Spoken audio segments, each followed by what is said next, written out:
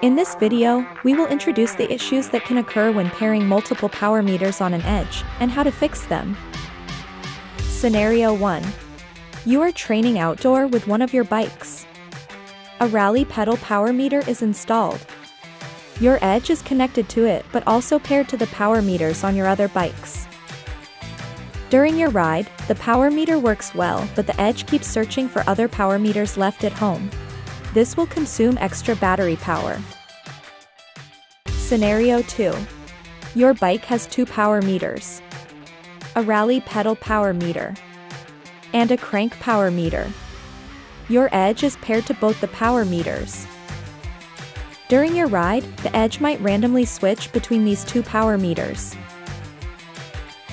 One moment you're reading data from Rally, then it suddenly drops to zero. A few seconds later, it reappears, but the reading is from the other power meter.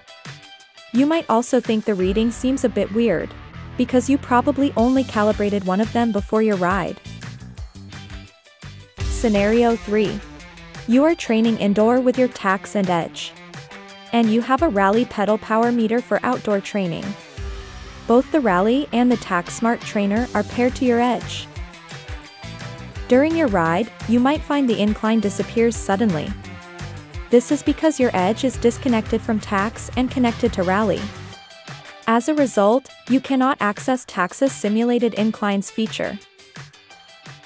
The solutions are the same for all the three scenarios. Select Menu. Sensors. Select the unused power meter turn it off. Repeat to turn off all the unused sensors. And that's it. Thanks for watching.